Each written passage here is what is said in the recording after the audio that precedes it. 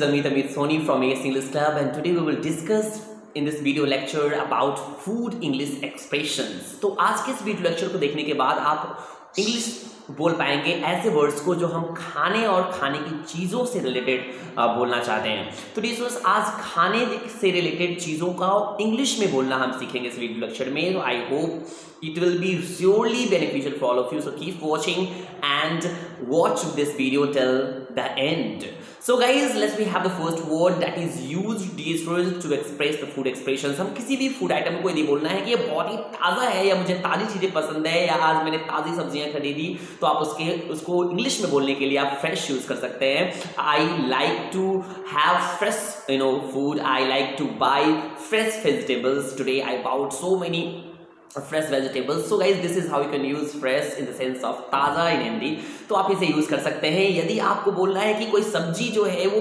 वो कच्ची है या पकी हुई नहीं है तो आप उसे रॉ बोलते हैं या पक गया है कोई फल तो आप उसे राइप कहते हैं. यू नो जैसे कि आप यदि केला खरीदने जाते हैं, कोई सब कोई फ्रूट खरीदने जाते हैं और आपने केले वाले से बोला कि भाई हमें तो कुछ जो है पके हुए केले चाहिए थे, आपने तो मुझे कच्चे दे दिए। I wanted ripe bananas but you gave me raw bananas so please return it back तो आप इसे यूज़ कर सकते हैं डियर रॉ मतलब होता है, कच्चा और राइट मतलब होता है, पका। वही यदि आपको कोई डिश ज़्यादा पक जाए या कम पक जाए तो उसके लिए हमारे पास वर्ड है वर्ड्स हैं तो आप कम पके हो को आप अंडर कुक कहते हैं और ज़्यादा पके को आप ओवर कुक कहते हैं। The paneer is over cooked the chicken is under cooked so आपको कोई चीज़ कम पकी हुई है तो आप अंडर कुक बोल दें या ज़्यादा पक गई है तो आप उसे ओवर कुक्ड बोल सकते हैं।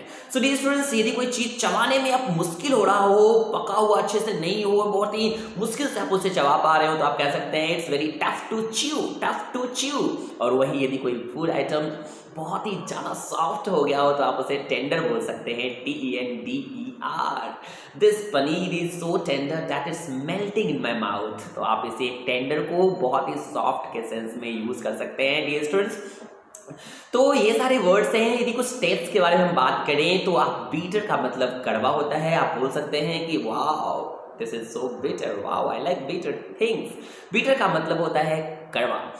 कड़वा का मतलब डियर आप ध्यान रखें वो कड़वा जो है वो आ, तीखा जो है वो जो है वो नीम जैसा जो तीता होता है उसे हम बीटर कहते हैं।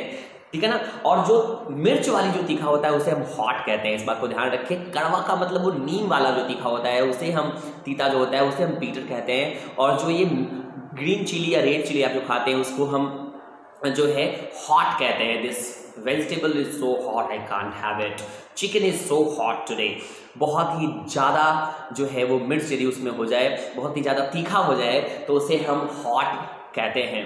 तो this this is how we can use food English expression while talking to someone else and your communication skill यदि और भी कुछ वर्ड्स आप सीखना चाहते हैं तो हमारे पास और भी वर्ड्स हैं। यदि कोई चीज़ बहुत ही ज़्यादा कोमल है, बहुत ज़्यादा सॉफ्ट है, बहुत ही ज़्यादा यू नो बहुत ही कम जो है स्पाइसी है तो आप उसे मिल्ड कह सकते हैं। Chicken is mild today mild का मतलब कम स्पाइसी होना, बहुत ज़्यादा स्पाइसी होना को हम जो है, वो हॉट कहते हैं। मैं आपको बता चुका हूँ, बहुत ज़्यादा तीखा हो गया हो तो उसे हम हॉट कहते हैं।